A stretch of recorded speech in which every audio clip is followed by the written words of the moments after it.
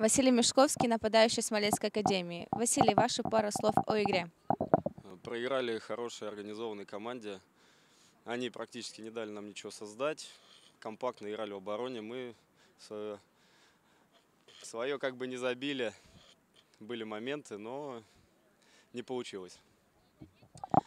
Сезон подходит к концу. Расскажите о ваших эмоциях.